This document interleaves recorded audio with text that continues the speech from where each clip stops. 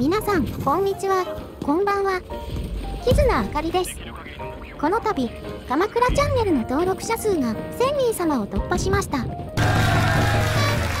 まさか、こんな日が来るとは。動画を見てくださる皆さんに、感謝感激であります。この記念に、何かお祭りをやりたいなと思ったんですが、現在悩み中でありますぞ。コミュニティサーバーを使って一つ祭りでもどうかな？考えた時期もありました。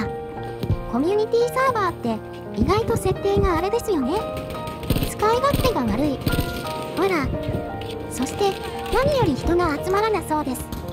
一応なんですがプレイステーション版のバトルフィールドを思ってる人で一つ祭りに参加したい人っているかな？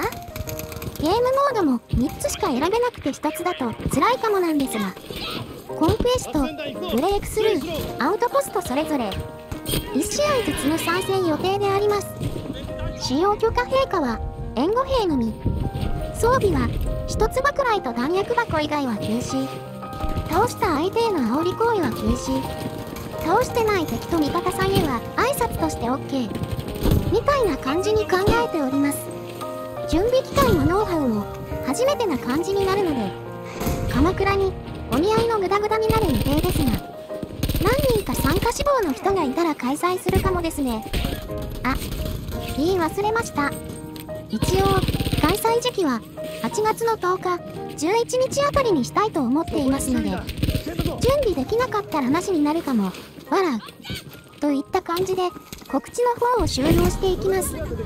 めんどくさがり屋さんの鎌倉ですがこれからも皆さん鎌倉チャンネルをよろしくお願いしますね。よし今回こそは後半戦うちが奪っていくで。最近乗っ取りが趣味のことの早金です。と言っても告知用の動画なんでバトルシーンがほとんどないんやけどな。まあ気にせずやっていこうか。今回はよっちゃんの他にフレンドさんも一緒に遊んでくれてます。皆さんよろしく頼むで。よろしく頼むぞ。うちの射撃が暴れすぎてもはや人には見えないものが見えてしまっている。いやでよく打ち勝てたなぁと自分でも思うわ。まあ結果オーライや。あ文体さんナイス蘇生です。文体間の蘇生は大切です。これはみんなで蘇生助け合い運動やしぶとく生き残っていくスタイルは頑張りの証やで。